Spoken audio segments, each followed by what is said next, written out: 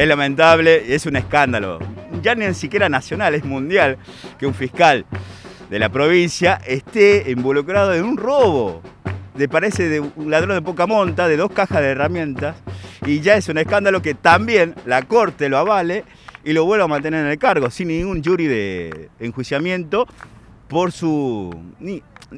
Más allá del valor de las cajas de herramientas o no, es lo simbólico de lo que representa un fiscal que tiene que decidir sobre la libertad de personas en la provincia de Catamarca, si es un tal delito o no. Eh, me parece lamentable y vergonzoso que sigue este sistema encubriendo a sus propios miembros que cometen ilícitos. El lema de esta manifestación tiene que ver con que los fiscales o los jueces sean elegidos con el voto popular, es lo que en este caso pide el MST.